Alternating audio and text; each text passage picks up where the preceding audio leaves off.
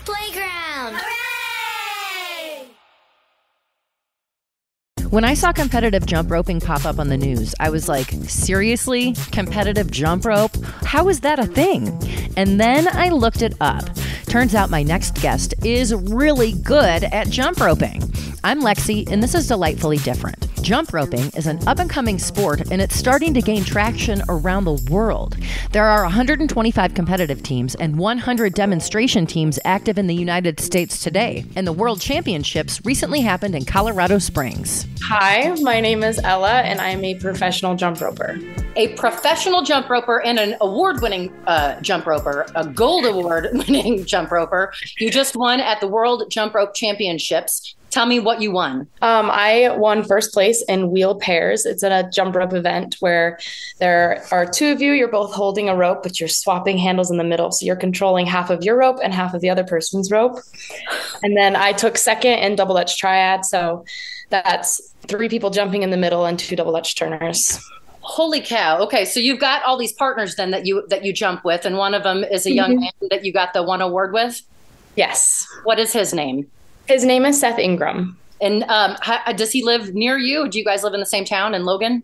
Yes. So I we both grew up kind of knowing each other. He jumped for a different team in Idaho. Um, oh. He came to Utah State for school and he started coming to our jump rope practices. And then he was like, Do you want to jump? And I was like, Absolutely. Because he's awesome.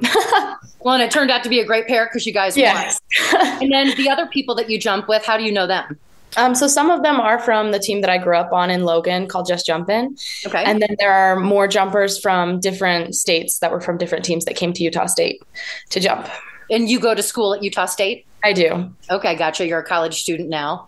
um, and then this event that you had won this at, it's like an international event. Are there people there from all over the world? Yes. So there were 3,000 competitors. Holy cow, really? Yes. It was crazy. And there are people from all over the world. We had Hong Kong, China, we had Japan, Korea, Australia, Canada, South Africa, I'm like, there were so many people there. I walked in and I was like, this is something I have never been to before. I've only ever done national competitions. So I was used to like walking into the arena and being like, oh, hey, I know them. They're from that team. I know them. They're from that team. But walking into that competition, I was like, this is crazy. what did it take to get there? Did you have like preliminary qualifying events that you had to get through? Yes. So, in order to qualify to compete on Team USA, you had to submit a video at a qualifying tournament by April 1st. And then they're going to have a panel of judges judge them. And then the top three groups in every category get the spot to compete as Team USA at Worlds. So, you're one of the top three in the United States of America. you were representing the United States. Did it make you feel um, patriotic being there repping the USA? Absolutely. It was it's so crazy to think that that was something that I did. like I, I, think about it all the time and I'm like, that wasn't real. How when did this take place? How long ago? Um, about two, three weeks ago. So it's very fresh up. Yes. Still nice and fresh and hot. Yeah. the routines that you do, like in the competition and in general, because I watched a ton of your videos, do you make them up or is there someone choreographing that for you? Um, yeah, we make them up. So as far as judging goes, there are some required elements that your routine has to have. You have to have multiple unders where the rope is going under you four or five times in one jump. Kind of like have, boxers and fighters do when they're yeah, like double unders, you know. and then you've got like gymnastics power skills, so you're going on your hands and pulling the rope under you, doing handsprings, flips, and stuff like that. And then you also have manipulation where you have to wrap the rope around your body or release the handle and catch it and then that's how you kind of like base your routine. You kind of want it to be diverse and entertaining but you also want it to be as hard as it possibly can be. So you're you're putting in really difficult skills. That's crazy. incredible. When did you start doing this? How old were you when you first started jump roping? I started jump roping in first grade so i was six. And, and what made you want to start doing it? Was it just fun on the playground and then it turned into something bigger? Yeah, so the elementary school that I went to actually had the Just Jumpin' Club there. So they had flyers, and my PE teacher gave me one. And I went to one of their after school club workshops and I was hooked and I haven't stopped jumping since. It's like almost you got lucky having that in your school because Yes. not a lot of schools have that. Mm-mm. It's a, a very unusual sport. You would call it a sport, yes. okay. Um, what is the difference between jump rope and rope skipping, or are they the same thing? They're the same. It depends on the country. Like Australia thinks we're so funny for calling it jump rope. They're like, it's rope skipping. we're like, all right, sure. Same Oh, thing. too funny. Yeah. I had no idea. I thought maybe it was a totally different thing. Yeah. Um, how did you find the uh, other people wanting to do this? Like, so the, some people probably went to your school, yeah, on this club Mhm. team. And then where do you find the other people that you do this with? I mean, it's it's a pretty niche sport for sure. But when you find like a good group of people, usually a town that has like one club, it's pretty well known and I think a lot of people get into it. But I think it's just such a fun sport that once someone picks up a rope and they kind of just start skipping around with people, like you just get hooked. You just love it. You can't stop. It's incredible. When I watch the videos, I'm like, are they on trampolines? They are not just jumping. Holy cow. I know it's crazy. What point was it when you were doing this for fun where you realized I am good at this and I'm going to do it competitively? Um, competitive jump rope has always been in my life. Um, the team that I jump with, they um, have always attended a national tournament and a regional tournament. And so when I started, that's kind of what you train for throughout the year. Our team did performances to kind of help raise money for us to be able to go compete. And that's what we train for all year long is all of the different routines that we had to learn and create and then perform them at a national competition. But I didn't ever, I competed at one Worlds that was in Florida when I was younger, but I didn't really ever compete at a world event until this year. And I've been doing pretty well at nationals the last couple years where I felt like I was getting pretty good at jump rope. But when I went to Worlds, I did not have high expectations of winning. I was competing against the best of the best. And I don't know what everyone else is going to bring. But I mean, when I won gold, I was like, this isn't real. This is crazy. You're still humble about the whole thing, too. I like that I asked you, when did you figure out you were good? And you're like, oh, I'm not that good. Well, you know, a lot of practice. I imagine, yeah, it's got to be nonstop practice. Yes. You- when you practice, are you just doing like jump roping and uh, in your routines, or do you do other workouts and stuff uh, in order to like bulk up to do this? Right. Yeah. I definitely, I mean, when I was younger, we would condition like in the beginning of the season. And then after that, we just kind of were training routines as hard as we could. Now that I'm old, I go to the gym. I definitely train myself a little bit harder now, but um, what sort of what's your favorite trick to do, or what are some of your like standard moves that that say Ella? Oh my gosh. Uh, I love anything pretty. That's my biggest thing about jump rope is when I go out, especially even at a competition, my biggest thing is I just want to perform. That's all I want to do. I want to make it look entertaining and beautiful. And I want people to want to see jump rope and to know about jump rope. I love it. So it. anything beautiful, kind of dancing. I love it. I love it. There's a lot of dancing involved in this in, in roping as well. Um, what are some of the categories in the competitions? You named the two that you had won in, but what are some of the other Right. things that people do? So we have individual freestyles. So that's where you have your own rope and you can do it by yourself. You can do it with a pair, or there's also one where you do it with four people. So you all are jumping your own rope and have to stay on together in complete like sync. And it's like really difficult to have a really beautiful, clean routine in that. And so when, when someone hits a routine like that, it's really awesome to watch. And then there's a couple more double dutch events where you have just three people. So you've got two turners and a jumper and they're switching. Then you've got one where it's four people, you've got two jumpers and two turners. And lately, uh, there's some Japan competitions. They're called double dutch contests. So they're dancier, like a lot more dancy than what we usually see at a normal jump rope competition. And that can have as many people you want. And it's like not everyone's jumping at the same time. They're dancing on the edges, and that's really fun to watch. And then there's also, other than freestyle routines, you have speed events. So you're having a timed track, seeing how fast you can jump in a certain amount of time. So there's a, an event called uh, single rope speed sprint where it's 30 seconds and you are jumping alternating feet as fast as you can. And so they it's so fast that they just count your right foot and then double your score. and people are getting like people are getting like 250 jumps. Really? No, they're so fast. Oh, it's insane. It's almost like where uh, performance meets sport. It's sort of like the two things Yes. together. It's so Yeah, for real. It's like the best of both worlds. Have you ever been injured doing this? I've never gotten seriously injured jump roping. I have gotten like some stress injuries from just doing it for over a long period of time, but it's nothing that I can't push through. So I just keep going. I love it. You're a trooper. Um, how much do you practice? Is this like a seven day a week thing? Um, not always. I practiced probably like two or three nights with my group last year up until competition was coming up and then we were practicing four nights a week. But i also coach a jump rope team here in logan so i was jumping with them three or four days a week. So i was jumping probably six days a week for the two months of may and june. But other than that it's usually just like three or four nights a week for a few hours when you guys come up with a, a, new routine, if you and your partner or your partners, your team, mm-hmm. how long do you practice before you perform it? How long do you work on that routine? When we perform them at competition, it's usually something that's been months in the making. Um, we usually probably start like hammering down a routine in about June or not June, January. And then January to July is the time gap that you have to like master this routine.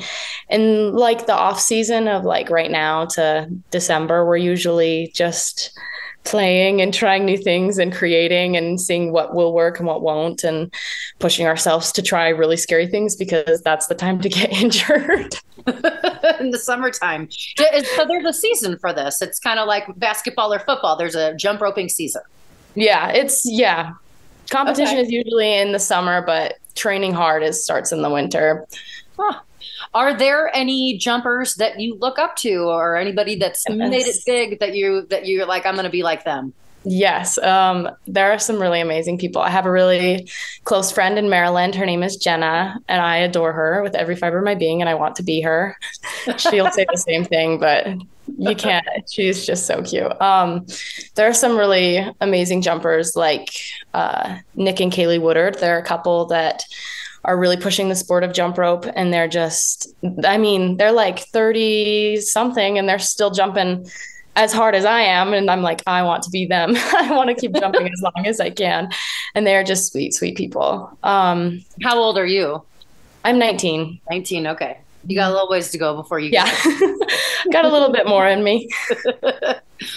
um, now, I happened to catch an episode of you on Nightly News with Lester Holt and your group Just Jumpin'.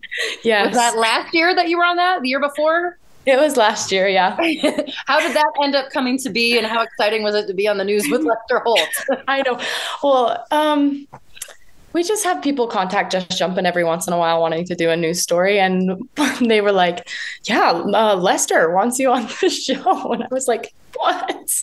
That's crazy. And uh, my other assistant coach was like, I want you to talk. And I was like, okay. And I'm like, I've got my earpiece in and I'm like freaking out because I'm like, what if I can't hear the questions? It's live. I'm freaking out. And uh, he is the sweetest man. right? and it was such a cool opportunity. I'm like, it's another one of those things where I'm like, that that didn't happen.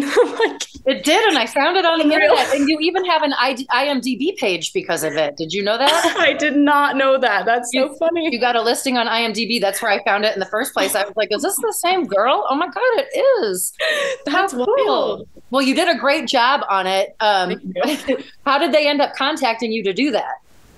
I think they just emailed our head coach, Patrice Wynn uh, from Just Jumpin', and I think they found a video or something online, and they're like, "We want to, we want to get them on there." So. Oh, that's so cool. Did you guys end up getting like a lot of uh, people interested in jump roping after that aired? I yeah, I think we definitely go through fluxes of like jumpers. Uh, usually the beginning of the year, like the school year, we get a lot of jumpers and then after we do performances that are local we get a lot of ton a ton of kids that come people that are interested giving mm-hmm. I'm Lexi, and this is Delightfully Different. Today I'm talking to Ella, a professional jump roper. Okay, so when I was growing up, I used to try to do double dutch, and I was mm-hmm. not good at it. I could maybe do one leg, then the other, and then I'd be wrapped up in the ropes. What's the trick to double dutch? Man, I honestly, kind of the trick to double dutch is having good turners. Like people, people will be like, "No, you're jumping off, you're jumping off," but the turner's got to turn to the jumper. And people Okay. don't get that. So turners have their own rhythm and they're just expecting the jumpers to read their minds. But it's a lot easier as a turner to watch someone's feet and turn to the way that they're jumping than a jumper to like try to figure out the way that their arms are turning. So the turner's job is just as important as the jumper's job. 100%. I did not know that, so now I blame it on all those other Yes, kids. it's not you, it's them. Um, do you? Uh, so you go to college? Do you pl- jump for your college? Do they have a team? They have a club team. Um, oh, they do. At Utah State, yes. That was started Okay. by one of my teammates. Oh, you guys basically had to start. Yeah. okay, gotcha. And how has it grown since you started it? um, it definitely did at first, but then the person that started it graduated. Oh, okay. And so then it kind of got rough there, but it's got a few of us and it's pretty fun to all get together. And it's fun to have different levels and to teach and to watch people like start to pick it up and understand and create on their own. That's awesome. There's got to be like a rhythm to it that it clicks all of a sudden. Yeah. I'll bet. Um, now, do you consider yourself a gymnast? No, I do not. Gymnastics while you're like you're jumping and doing gymnastics at the Yes. same time. I You don't- definitely do learn some gymnastic skills, but I am no gymnast. No Those gymnast. people are so talented. they are very talented, but I wouldn't, yes. I wouldn't discount what you're doing either. And then, uh, and then, do you consider yourself a dancer because it's also dancing? That's so funny. I don't. I should be. I should be like, Well, yeah, I'm a pretty good at dancer. I saw you shaking your butt on some videos. You know, in between the jumps. um, are you familiar with jump rope for heart? I am. Tell me a little bit about that because I've never heard of it before, and I just came across it, and I, I don't I'm much too old to have ever It experienced. is pretty old. I think it to- was an old campaign that was just pushing the sport of jump rope and um, the benefits of it being a heart healthy activity. and they went to schools or something and tried to get. Yeah, and I think they went to roping. schools and they were just doing assemblies teaching people about jump rope. It's I think it was all an effort to just push being active and having fun and healthy lifestyles. You never had anything to do with it though. No, sadly. for jumping on your own. You didn't need it. um, where has jump rope been taking you so far, like travel wise? Where have you gone to do jump roping? Um, I've been all over the country. So I've competed at the ESPN Center in Florida. Um, I've had other competitions in Florida. We were just in Milwaukee for nationals this year, Ohio, Cincinnati last year, California, Montana, Idaho. Man, I'm like trying to think back. I've been jumping for a long time. it's been Where 13 was years. where was your favorite place to go and do it? Oh my gosh. Well, when I was 12 years old and I got to go to Disney World after, that was my favorite. You're the second person I've talked to that's done something pretty awesome and said they liked going to Disney World after. it's, it's like a, it's a double whammy. I get to do what I love and then I get to go to Disney World. Love it. Um, so what's next for you? I understand you're going to be doing um, some performing with Cirque du Soleil. I am. I, I'm very, very excited about it. Um, after that, we're planning on, me and a couple of my teammates are planning on moving to Vegas. Okay. We're to jump rope there and see if we can get some gigs and make a career out of it for a little while. Now, when does your um, when do you start with Cirque du Soleil? Uh, November. It's a two month contract, so I'll be there November, December. And then do you travel with them, or is it just in Vegas?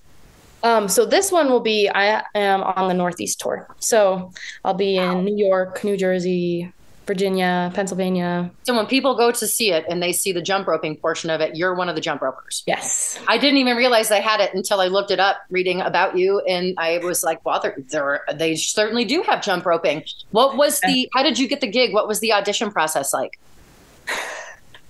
Well, um, the sport is kind of like you know people, you know. So I have a lot of contacts, and uh, some of my teammates have done tours with uh, this company before, so they were my in, you and they've didn't really really have to jumped for you just- competitions and You stuff. just sort of knew somebody. What, and were there other people trying to get the gig as well? Like, did you have to beat anybody out? Out or? Uh, not really. I mean, they give they give the contracts to the group called Flight Crew, um, and so Flight Crew gets these contacts, offers them to everyone that's a part of Flight Crew, and then once they have like leftover ones, that's when they're like contacting other jumpers that they know, or if one of the Flight Crew members knows some jumpers, they'll like recommend them to the guy that gives them out. And so, flight crew, where are they located? right now in Orlando, but they are moving to Vegas. oh, they are. So, would you like to be a part of that group? Um, yeah, I mean, I would love to jump with more people. It's always a goal. That's the goal. um, do you know what your performance is going to be already in Cirque du Soleil, or do you start like training in in the fall? So in October, we'll probably get together, me and my group, and we'll jump and practice together. But then there's two weeks. I think it might only be a week. There's a week of rehearsal before we start touring. Only a week, huh? Yeah. You go do it in front of all the people. Mm-hmm. That's Hard work. Ex- exciting. Now it's very yeah. theatrical. Have you ever done acting or theater before? I mean, I did plays in elementary school, but I I stopped there. so you're used to an audience because you jump in front of audiences all the yes, time. Yes, I did. I've done performances since I was six years old, and I've been jumping in front of big audiences since. Well, you certainly weren't shy on the TV, so I can see you doing well in front of an audience. Oh, um, what are other career outlets for people who do jump roping? You said you want to move to Vegas. What would you do there as a career for jump roping? I think I would just pick up, you know, you go to a, a circus show and you watch silks and you see the roller skaters and the contortionists, but we're just kind of one of those acts where you can just sneak into one of those shows and show what you got. so you and your and some of your team are going to go and do it together. So when you go and try to get like a gig in a casino or something, mm-hmm. or, or be part of another performance, you'll try out together. Yeah. Okay, awesome. I hope you guys yeah. can make it. That's that would be so cool. um, so, what is next for the sport of jump roping? I understand y'all are trying to get into the Olympics. Mm-hmm. How's so, that going? I mean, I think it's going pretty well. Um, they announced at Worlds that I am not going to say this right, and I can't remember what it is, but someone on the Olympic Committee has officially recognized jump rope as a sport. Okay. And so that's definitely put us in the running. And we're one of, there's a few sports that are being looked at by the Olympics, but I think we're the only one that got broadcast by the Olympic channel during our competition. So it's looking pretty good. Oh. Keep your fingers crossed because it's, it's an awesome sport and it should definitely be spread to and everyone. not easy. I mean, watch you guys. I, there's no way that I could do the stuff that you do. It's incredible. I mean, if snowboarding's in there and ping pong's in there, you guys should be in there. Um, what That's does your family think about your your career goals? you know, uh, it's not hard for parents to hear that your child is gonna run away with the circus. but they're very supportive of me and they they want me to follow my dreams. So they're awesome. Well, I mean, it's a much fancier circus than the regular old circus. Yes. um, and your friends, how do they feel about what you're doing? Are most of your friends jumpers as well? Um, I have a lot of jump rope friends, but I also have a lot of friends here, and a lot of them are very sad that I'm leaving. And it's it's a hard goodbye, but it's also like needed. I'm ready to to push myself to new new places. Spread those wings and fly. Plus, they're going to have a place to stay in Vegas now. Exactly. I said, come visit me. I have a, I'll have a house. I'll, you can have my bed. I'll sleep on the floor. I don't. You're going to regret that. You're going to regret that a year from now. Um, so jump up the whole community. It, the worldwide community, I guess, or at least the national community of jump roping, seems like it's a bit of a family. Do you oh feel that way? 100%. There is no sport like it out there. Like it's you, someone will walk onto the floor and they'll be maybe your biggest competition and you're sitting there hoping they hit the coolest routine you've ever seen in your entire life. Everyone supports each other, everyone cheers each other on, and it's just so fun and everyone just wants to know each other. No one is acting too cool for each other or too good for each other. Everyone's sharing their tricks they know and their little tips and secrets of how they do things. It's just such a an amazing community to be a part of. That's really cool. I love to hear that. Um, yeah. So, how can we follow you and support you online? I know you got a TikTok and an Instagram and everything. Um, so I do have a jump rope Instagram. It's Jumpin Ella, J U M P I N Ella E L L A. Um, and I'm definitely planning on posting all of my circus content on there. But for now, it's just me playing around with all my jump rope friends. well, they're really fun to watch. I got, I went down a little bit of a rabbit hole today.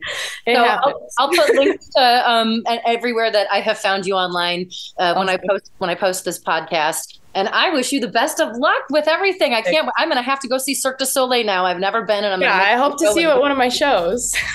well, I really appreciate you. It was nice to meet you too. I really appreciate you taking the time out of your day to talk to me. Thank you so much. You're going to want to check out Ella's videos. It's acrobatic, it's entertaining, it's amazing, and it seems impossible. There are two U.S. jump rope organizations USA Jump Rope and the American Jump Rope Federation.